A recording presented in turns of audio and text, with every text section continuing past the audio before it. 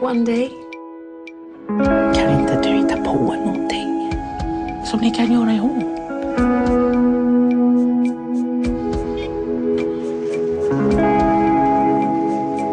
Ja må hon leva, ja må hon leva, ja må hon leva ut i hundrade år.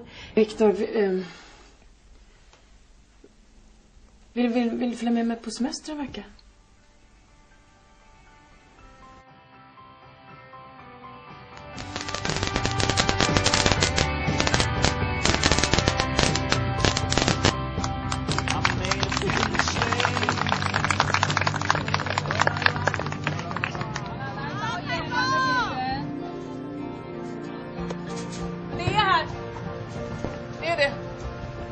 Tror du det? Ja.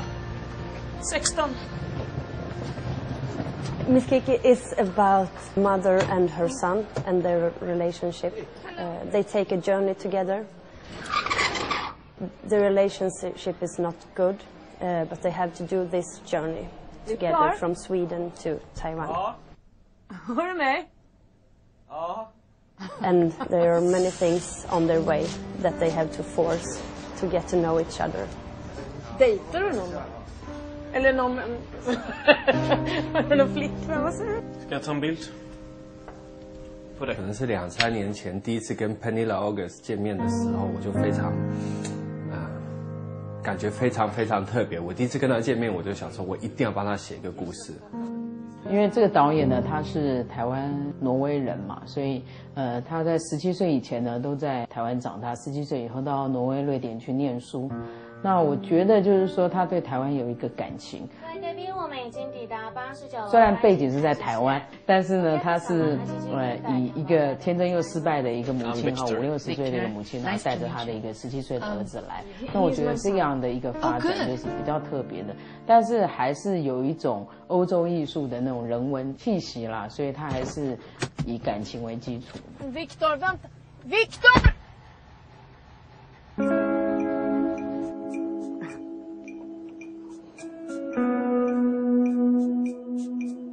在瑞典虽然是导演大，但是没有大到台湾这么大。呃，在瑞典是比较，我比较喜欢就是大家的意见跟大家的互动就是比较多。但是我发现我到台湾拍片子的时候，突然间我的。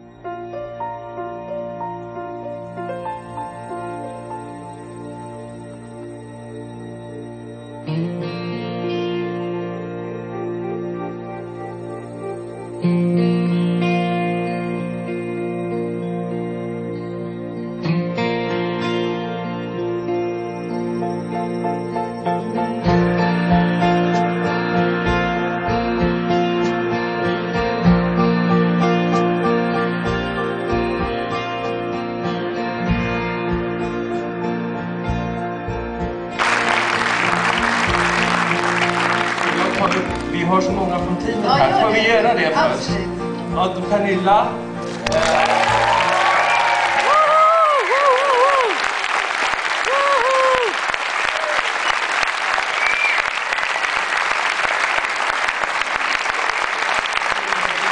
Äh, Ludvig Pamell.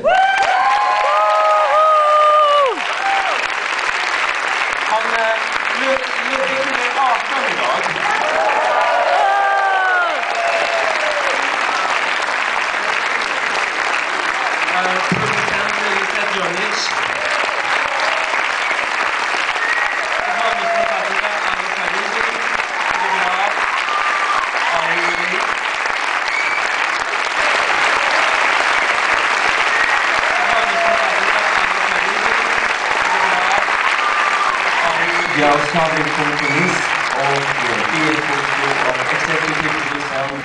Men du, Miss Kikki då? Eh, Alltså hur tänkte du då? Med henne? Med henne? Ja.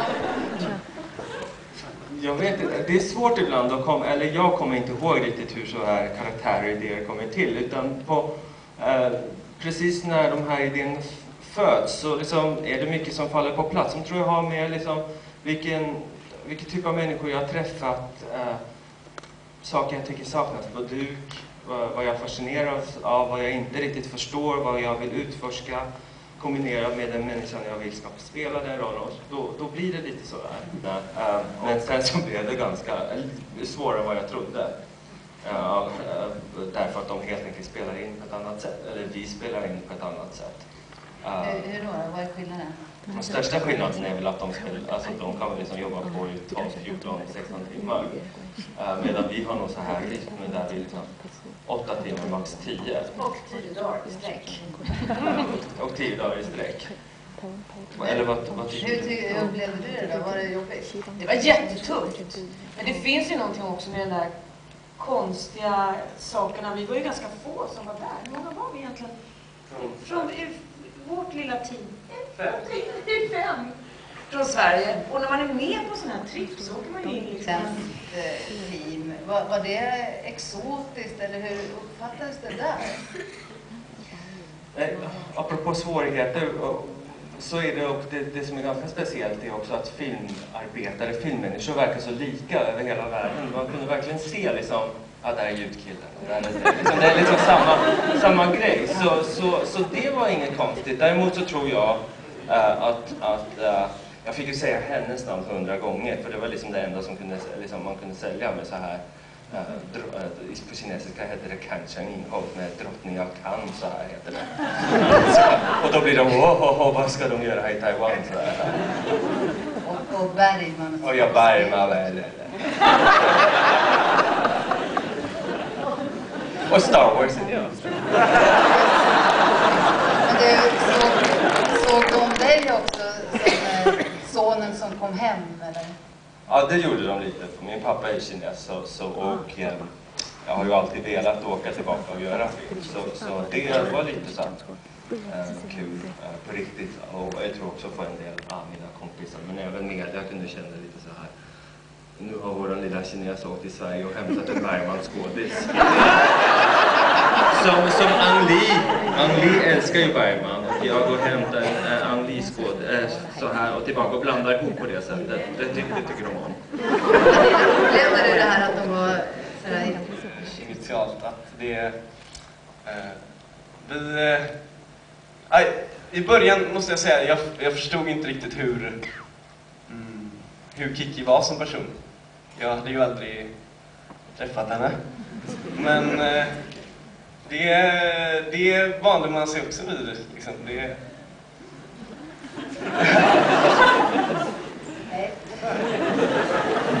eh, är det någon mer fråga? Nej? Eller?